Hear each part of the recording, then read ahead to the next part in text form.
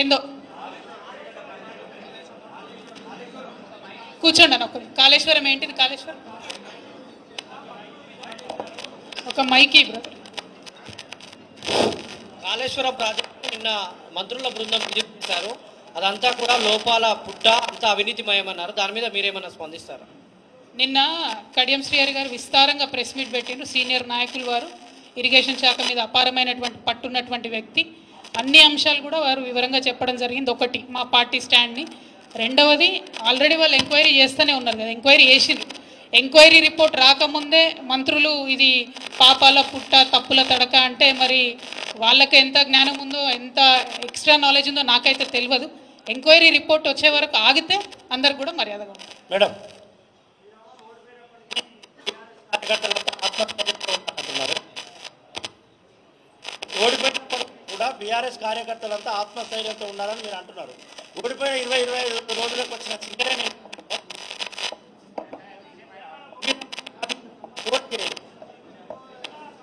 ఆత్మస్థైర్యంతో party ఒక నిర్ణయం తీసుకుంది పోటీ చేయొద్దని. సింగరేణిలో టెక్నికల్గా ఇబ్బంది ఏమొచ్చిందంటే అక్టోబర్లోనే రిజిస్ట్రేషన్ చేసుకుంటారు కాబట్టి పార్టీ సింబల్ వచ్చింది.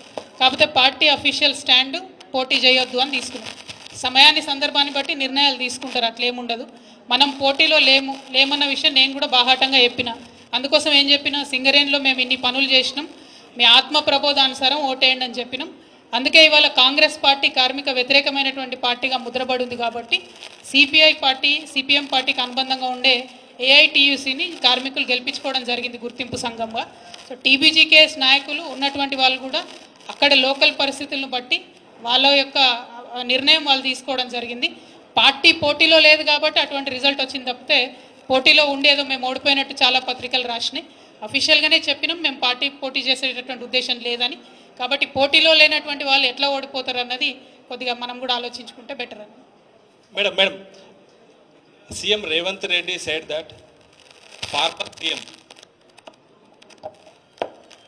farmer CM has 66 crores worth land cruise cars in Vijayawada. ఒక్క విషయం దయచేసి అందరు గమనించాలి. గౌరవ ముఖ్యమంత్రి గారైనా గౌరవ మంత్రివర్యులైనా యావత్ ప్రభుత్వం ఎప్పుడైనా సరే వాళ్ళ సెక్యూరిటీ అనేటటువంటిది పోలీస్ వాళ్ళు ఇంటెలిజెన్స్ వాళ్ళు చూసుకుంటారు. ఎవరు కూడా మాకు ఇన్ని కార్లు కావాలి ఇంత సెక్యూరిటీ ఉండాలని ప్రజాప్రతినిధులు కోరరు. సెక్యూరిటీ వాళ్ళు ఇంటెలిజెన్స్ వాళ్ళు చూసి సజెస్ట్ చేస్తారు. అదేవిధంగా సజెస్ట్ చేసినటువంటి వాళ్ళు కాన్వాయ్ని ఎట్లా బిల్డ్ చేయాలి ఎక్కడ బిల్డ్ చేయాలి అనేటటువంటి అంశాన్ని సీక్రెట్గానే ఉంచుతారు ఎప్పుడైనా కూడా. ఎందుకంటే థ్రెట్ ఉంటుందనే సెక్యూరిటీ ఉంటుంది. సో ఆటోమేటిక్గా ఎక్కడో వాళ్ళు పెట్టి దానికి కావాల్సినటువంటి ఫెసిలిటీస్ అన్నీ కూడా క్రియేట్ చేసినట్టున్నారు. అవసరమైనప్పుడు తెచ్చి వాడతారు. అవన్నీ మనకు కూడా చెప్పారు కదా. సీఎం గారికి కూడా చెప్పకుండా చాలా ఇంటెలిజెన్స్ వాళ్ళు చేసేటివి ఉంటాయి.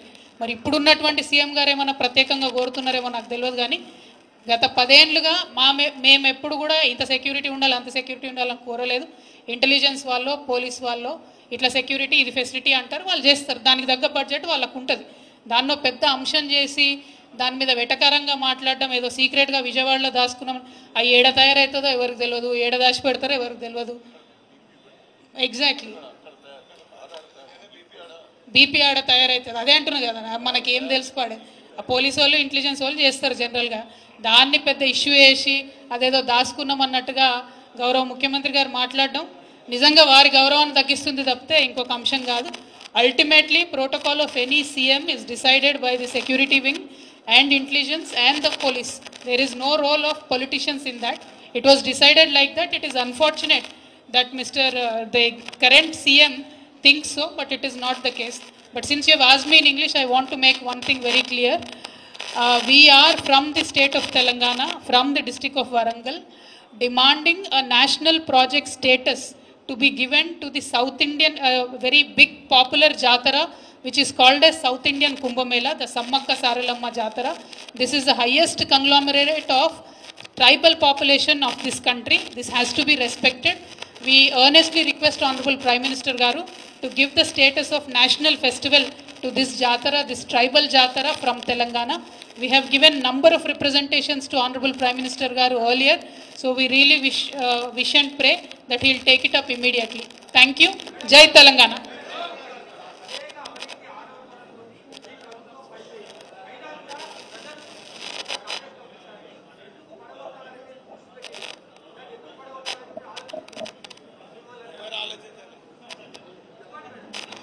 ఏందన్న నాకేం అర్థం కాదు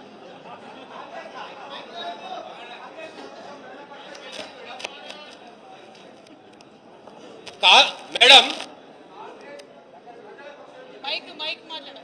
ప్రజల పక్షం నుంచి గెలిచింది మేడం. దాన్ని పడగొట్టాలనే దృష్టి తప్ప.